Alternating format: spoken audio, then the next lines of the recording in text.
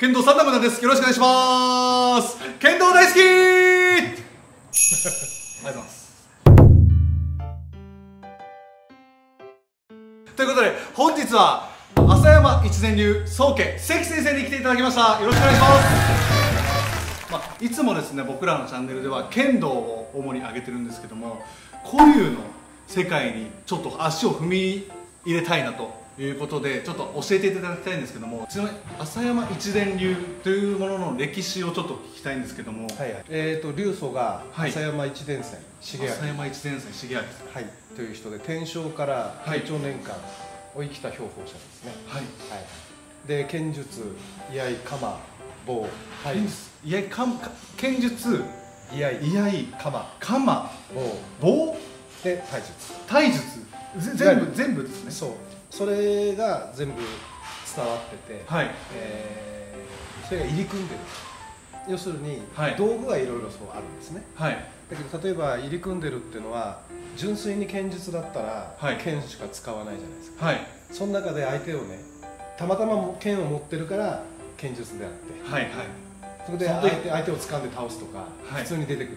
おおバーンと打った時に体術も入れる。ああそう場いう合もある。ってこととですよね。え超強くないですか？まああの それすごい強い。戦っていうのは、はい。刀に特化してたわけじゃないので、ああはい。はいはい何でもやります。わちょっとじゃあぜぜひそれを体験させていただいて、はい。今日はですね袋地内っていうものを使って。そうですね。まあ安全なんでね。はい、稽古をつけていただくので、よろしくお願いします。はいお願いします。じゃあねはい。あの一応古流系の技ということでね、はい、うん。で多分ねあの怖いと思います。怖いあ僕一ついいですか、怖いの苦手です。うん。だからそういう技に引っかかりやすくなる。はい、そういうフェフェイントみたいな。ペイントに引っかかりやすくなる。ええ我慢っていう剣道でいう我慢。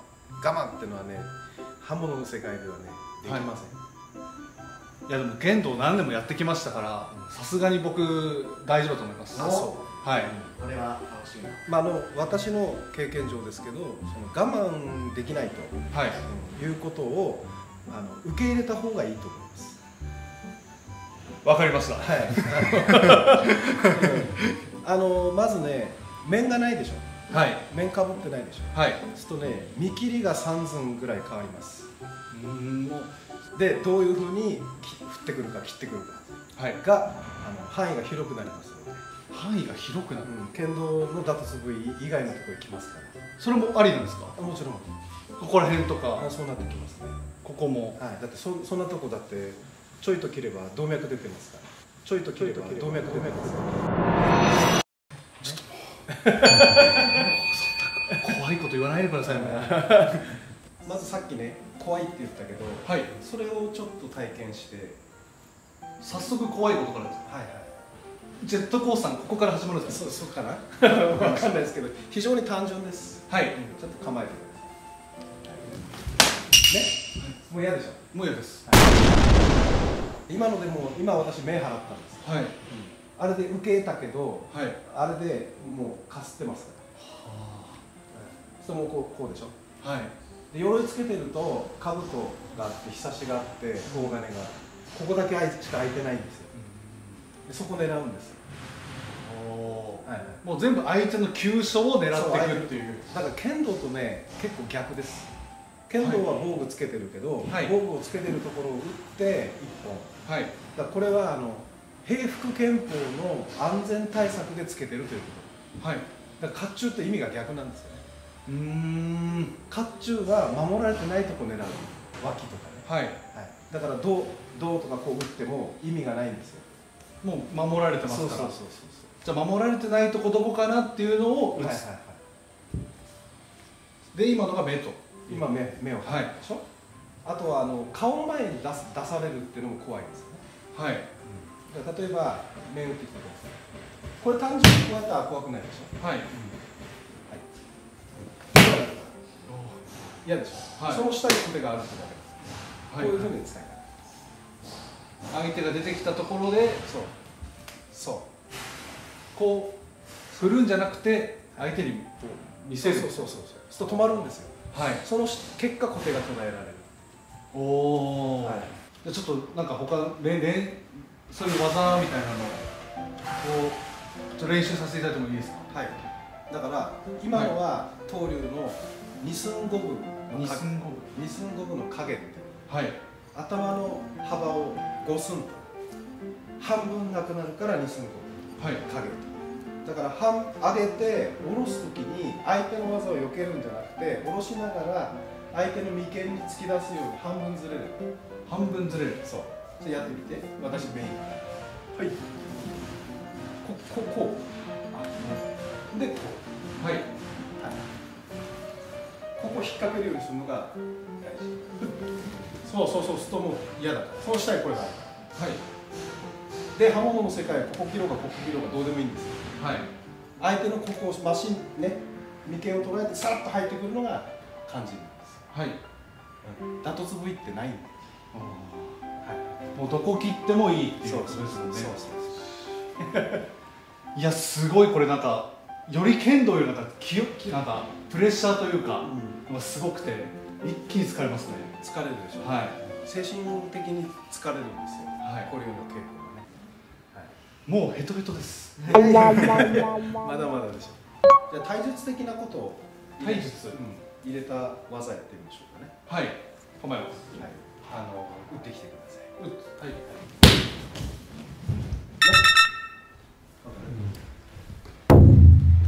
もうはい。あああこれ以上も。これ以上も。はい。はい。はい。はい。はい。はい。はい。はい。はい。はいさ逆らうと刺さっちゃう。はいはいもう言葉落ちる 繊維喪失してます。ここで終わってんだよねそうですね。もうここで終わってるのにはい。回されてはい。もうこれ以上あったのかと。ちょうんっとびっくりしました。あとまあ今こう言ったけどこう受ける。こう受ける。はい。ね。それでこおおうこれ剣道剣道の方がはい。何も寄らない角度でね。はい。こんな横のしないですからそうそうそうそこからも来るんですか？そうそうそうそう。あちなみにこれ全然あれですよね。全然あの柔らかいので。そうそうそうあとこ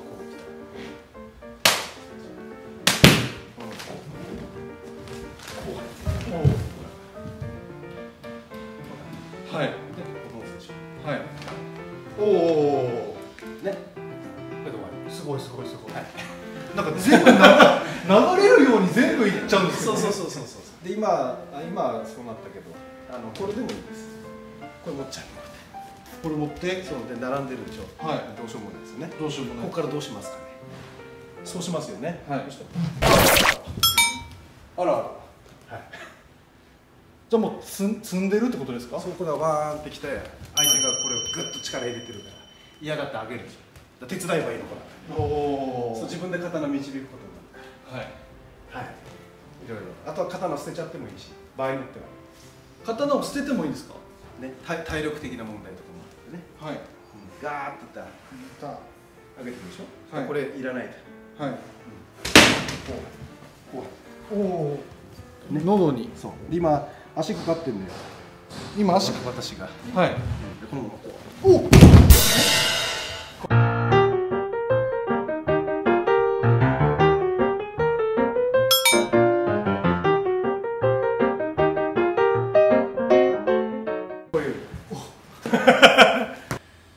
今はあの本当に死んだのかと思いました。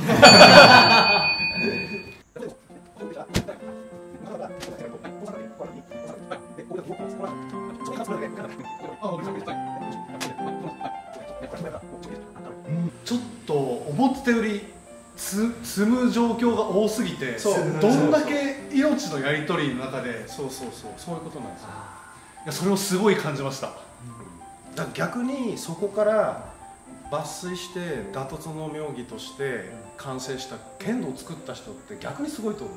ああ、そうかね。だから北進一刀流の小西先生とコラボした時もね先生もおっしゃってたけど古流の技出しすぎると難しくなるんだよ。ああ、確かに今のやられちゃったらちょっと勝負するの。そうですね。はい。選択肢が増えますそね。う。はい。で見てても分かんないしぐちゃぐちゃになっちゃうんだよね。はい。だから剣道って本当にね爽やかに稽古できるんで、うん だから古流とね剣道両方やるとねそういうことがねあ剣道って本当にいい文化だなって、うん。両方両方やってる人間からするとこう稽古のこうなんていうの？